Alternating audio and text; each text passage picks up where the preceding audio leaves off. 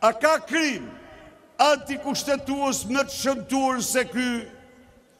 A ka atentat më të rëndë ndaj demokracisë së një vendi se sa ky? A ka turp më të madh për Shqipërinë se sa ky akt? Dikur Shqipëria bënte lajmin e botës për pritjen madhështore që i bëri presidentit të Shteteve të Bashkuara, sot Shqipëria bën lajmin e botës sepse narko-kryeministri i saj, pa fe, pa ideal, pa flamur, pa atdhe,